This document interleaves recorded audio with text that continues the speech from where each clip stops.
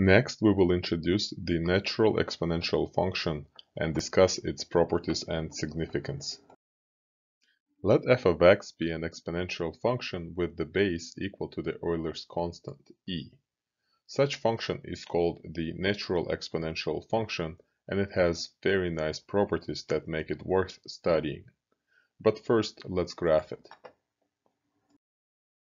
Since e, the Euler's constant, is less than 3 but greater than 2, the graph of e to the x sits right between 2 to the x and 3 to the x.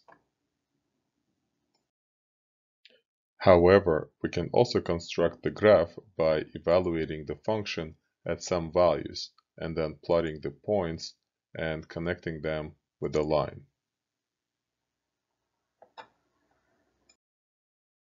Of course, the natural exponential function has the same properties as any other exponential function with the base greater than 1. That is, the y-intercept is 1, on the left the graph approaches the x-axis, and on the right the graph goes up indefinitely.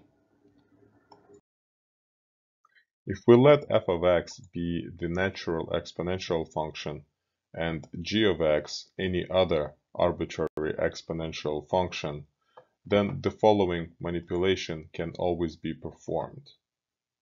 Meaning that any exponential function can be expressed as a linear transformation of the natural exponential function.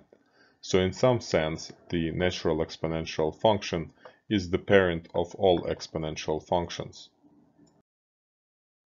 We introduced the natural exponential function and discussed its properties and significance.